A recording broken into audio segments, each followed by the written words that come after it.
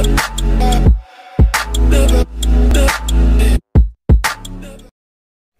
guys, this is Goni here from Tech4Joy and in this video I'm going to show you how you can use Google Pixel 2's portrait mode on any Android phone running Android 8.0 or above.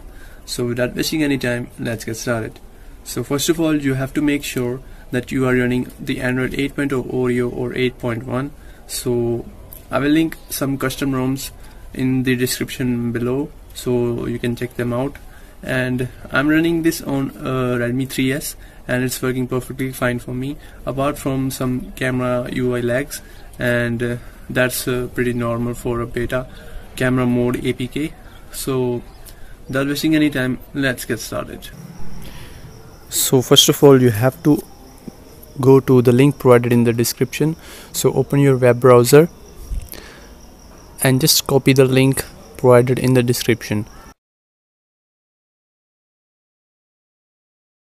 This will take you to a Google Drive link and just click on go. And you will find this blue download button. Click on this and your download should start now. As you can see click on this download button and the download is started now as you can see. Now I have already downloaded it so just browse to the file where have you been downloaded the file and just go to the file manager go to downloads and click on the file downloaded just now. Now just click on install.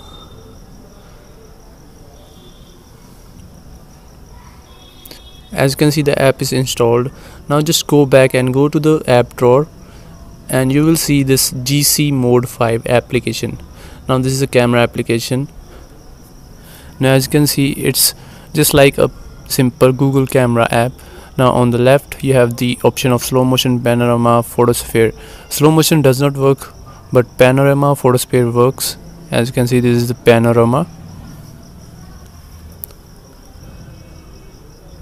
Now as you can see we also have the option of photosphere. That also works perfectly fine as you can see you can also use photosphere.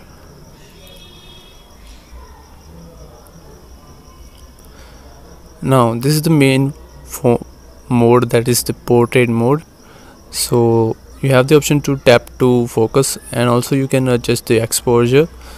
And uh, you also generally have the camera options that we do find on the Google camera app as you can see on the top this is the face touch.ing. You can turn it off or on. Also you can turn on the grid lines. Also there is option of color temperature and uh, there is option for flash to turn off or on. Now this portrait mode works only for human beings and uh, you can switch to the front camera but when you take the picture the picture comes out with a green tint. So technically speaking it not uh, works for me.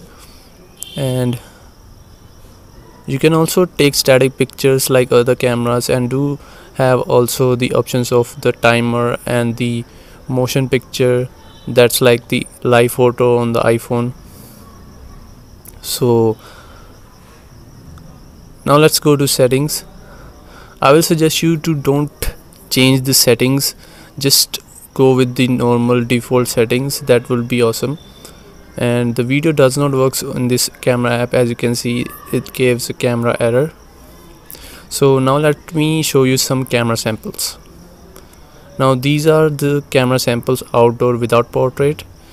And this is the same pic with portrait. Now this is another sample without portrait. And this is another sample with portrait. Now here are some more samples in indoor lighting conditions. As you can see it struggles in indoor lighting. As you can see the hair is not focused.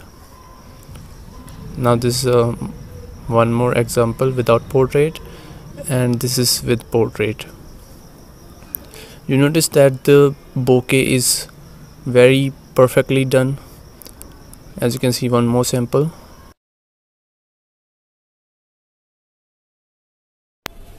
So as you have seen the camera samples now and you can judge the quality of the bokeh behind the focus object or the person. So that's pretty impressive that a portrait mode of Google Pixel 2 is running on such a low budget device that is the Redmi 3S and uh, if you have a great camera like the um, Moto G5s Plus or Moto G5 Plus or the Mi A1 and so you will get a lot of a lot better portraits by using this pixel portrait mode. Portrait mode does not works for the front facing camera. And also the video does not works in this app. You can use other camera apps or the stock camera app of your phone to record videos and the videos are not available in portrait mode. They are standard videos. And I will suggest you to use this camera app in the the normal mode. Don't uh, play with the settings. And yeah but you can use the panorama and the photosphere. Also slow motion does not works so if your phone does not have slow motion facility in the stock camera it will not work in this camera also so this camera app is mainly for the portrait mode and it also takes about 5 to 6 seconds to process the portrait mode so you have to be aware of that. So yeah that's pretty much it for the video. Please like and share the video. Please subscribe to the channel. This is Goni from Tech4Joy. See you next time